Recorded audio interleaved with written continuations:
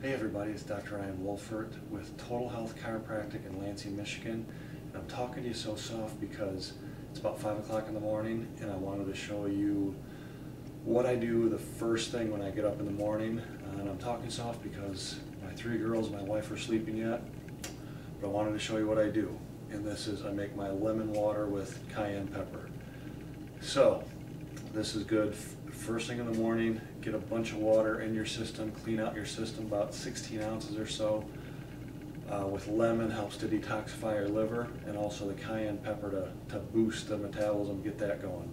So I do this, now wait, I wait about a half hour, 45 minutes, but what I do in the meantime is I work out most days of the week in the morning.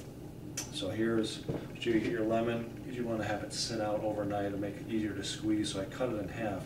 And I make one for me, one for my wife, and just squeeze in a half a lemon. Don't worry about the seeds. Okay, just sink right to the bottom. So I put about a half, half a cup of cold water, and right now it's about to, to boil is the, the tea kettle, water in there. That, squeeze it in there as much as you can, and then we put the cayenne pepper. I don't really measure it out, I just put some, put it in there, you know probably about a eighth to a quarter, if you can handle a half a teaspoon, do that. This gets a little bit strong.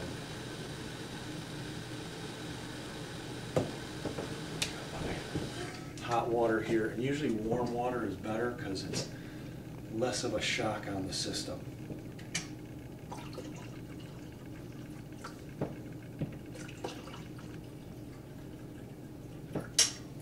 that up.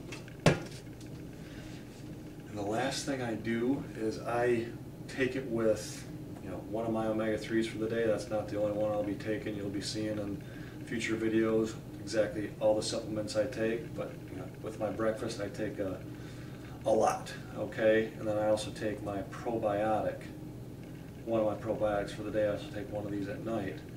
And it's better to take this on an empty stomach because you don't, you, you want it sitting in there, you don't want the acid breaking it down, or, yeah, you want it sitting in there to uh, restore the normal flora. So that's what I do. I personally, um, I just, I drink it down. I don't wait, my wife, she sips it a little bit more, but I just drink it down, get it over with, and there you go. So this is just one of those tips one of these things that I've incorporated into my routine. Not hard to do, it's a habit that you create. So again, that's what I'm gonna be doing, is giving you these habits. You can do with it what you want. This is what I do. Seems to help with, with my health, my fitness. And you do this, create this habit, and you're on your way to a fit, healthy life.